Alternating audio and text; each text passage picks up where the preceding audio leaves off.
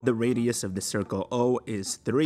The line segment PQ is tangent to O and OR is equal to RP. If the area of the shaded region is K times pi, what is the value of K? If PQ is tangent to the circle O, then we got ourselves a 90 degree angle right here. That is saying that OP is going to equal 6 because all we have to do is add those lengths.